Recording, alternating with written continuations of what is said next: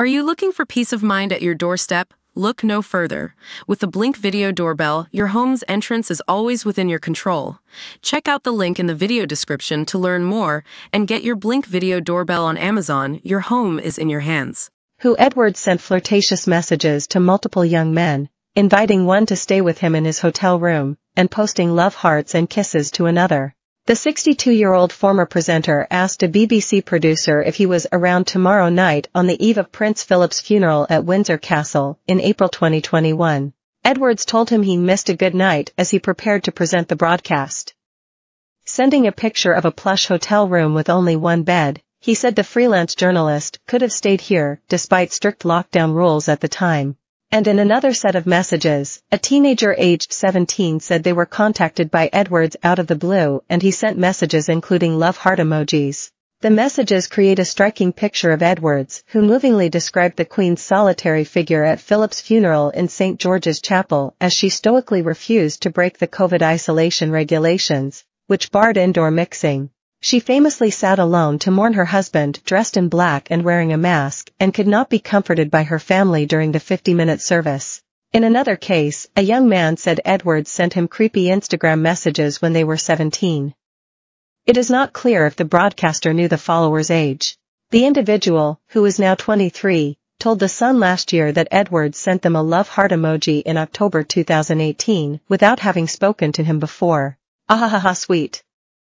How it's going at the BBC, the follower is said to have replied. All good thanks X. You okay?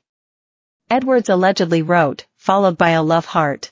Aha, yeah, why, the follower said, to which the star replied, just being polite. This was followed by sporadic messages between the pair, with Edwards even advising them to take part in a BBC school scheme when given the opportunity. At one point the individual appeared to grow frustrated when Edwards did not reply, writing, no reply then.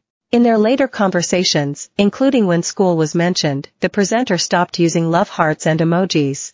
The youngster added, in light of what I know now, it feels as though when he realized I was not flirtatious back, he changed in the way he would reply. Speaking last night, the now 23-year-old told The Sun, I was utterly shocked to see what came out in court about who. It is distressing to think back to the messages we exchanged, that this could have ended a lot differently. At the time it felt creepy and knowing what I know now, I feel like I had a lucky escape.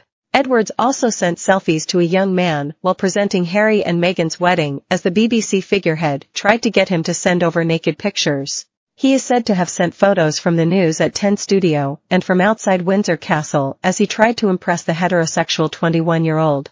It made up part of a year-long campaign where he pestered the young man for sex pics, finally unleashing a foul-mouthed tirade when he only received topless photos. It's disgusting. It was clear he was always trying to groom me and trying to use his position and money for his own perverse gratification, the man told The Sun. PayPal records show Edwards paid him £500 for a photo, telling him, F asterisk asterisk asterisk. That's one of your best. You look so good. In messages obtained by the tabloid, he continued, I want a pic of you totally naked head to toe. He later transferred the fan £2,000 before furiously messaging him when he was only sent through a picture of with the youngster's top half uncovered.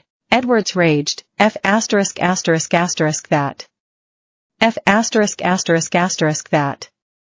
Really not impressed by you. I believed you were serious. But you're not. You chase me for cash. But you then forget to deliver.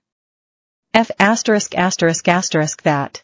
Edwards, who led the BBC's coverage from Windsor on the day of Prince Philip's funeral, appears to have been keen for company on the night before the funeral.